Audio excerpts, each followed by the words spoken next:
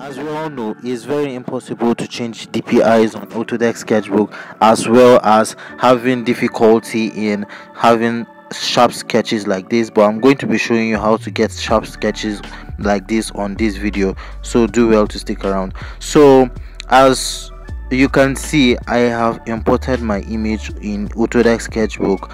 Let me show you the initial way is going to be showing as you can see it's going to be showing you a very low resolution um, sketch. It's very it's going to be showing you a very low um, sketch uh, when you import your image. Most especially when your image is a low quality image when you import it on autodesk this is the result you get.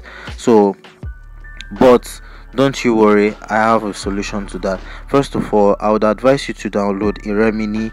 I'm going to be dropping links in the description box for you to get this app. So when you import this app it's going to clear this uh, your your reference for you at first.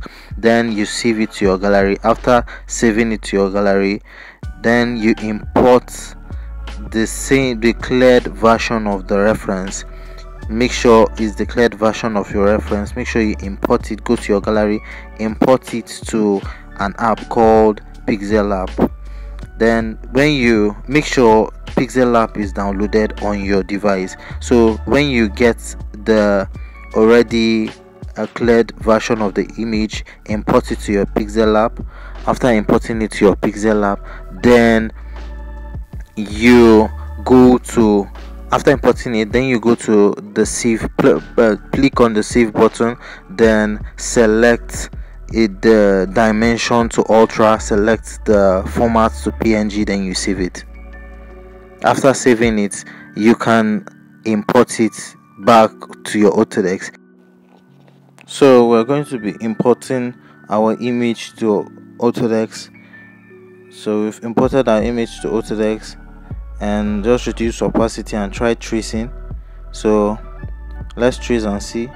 As you can see it has increased the quality of our sketch our pencil uh, sketch but is not too sharp. So what we're going to be doing is we're still going to be going back to PixelLab and follow the same process um, in increasing the dimension of our image. So just go to save as image then dimension then ultra then png you can still leave it as jpeg though.